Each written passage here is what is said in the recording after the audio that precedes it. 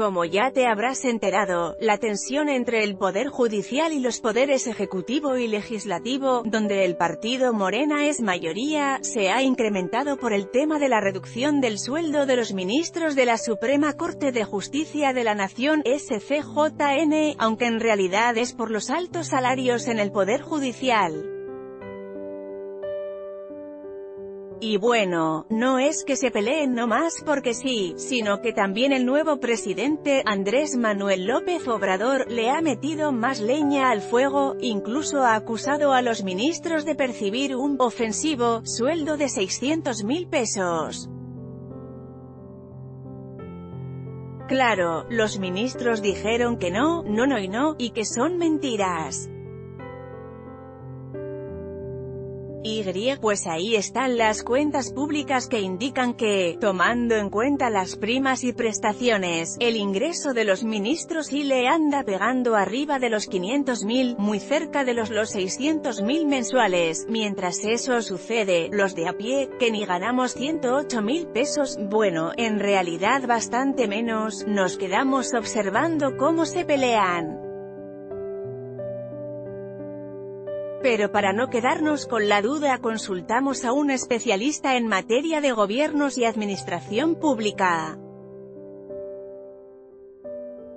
Por el momento, la Ley General de Remuneraciones de los Servidores Públicos se encuentra suspendida y los ministros siguen solo su sueldo de siempre. Foto, especial, lee también, SCJN niega que ganen 600 mil pesos como dice AML o cuál debe ser la remuneración de un juzgador. En cultura colectiva creemos que esto se resuelve primero con una pregunta sencilla, ¿deben los magistrados ganar más de los 108 mil pesos que gana el presidente? Para responderla, acudimos con Mauricio Merino, doctor en Ciencia Política por la Universidad Complutense de Madrid y coordinador de la organización ciudadana Nosot. La respuesta corta es no. Los ministros no deben ganar más que el presidente y se tienen que bajar el sueldo.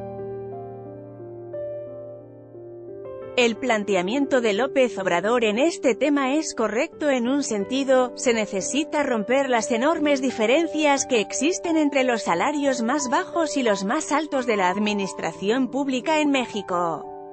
El experto que nos dio luz sobre el tema. Foto, primeraplananoticias.com, lee también, ¿cuánto gana un ministro de la SCJN en México? ¿Cuál es el salario correcto? Merino indica que, para analizar este asunto, se deben tomar en cuenta tres cosas. La primera es la disparidad salarial en la administración pública. Tenemos un grave problema con las diferencias de salarios. Las brechas entre los más altos y los más bajos es enorme.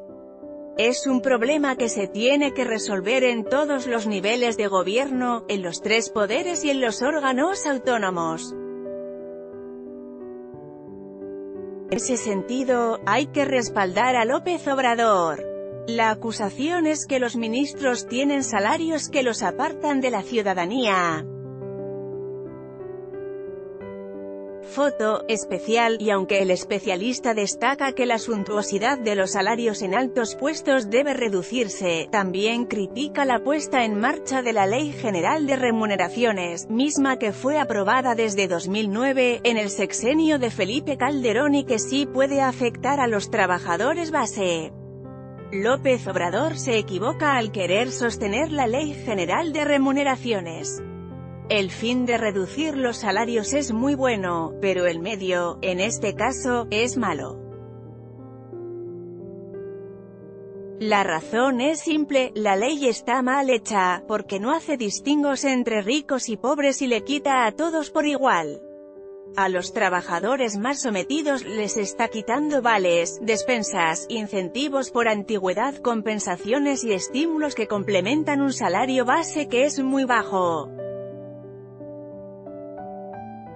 Lee Canochea e Alfonso Eduardo Serrano, El Magistrado Bautizado como Sin embargo, indica que no se debe mezclar la condición independiente de la Corte con la condición salarial de los altos puestos.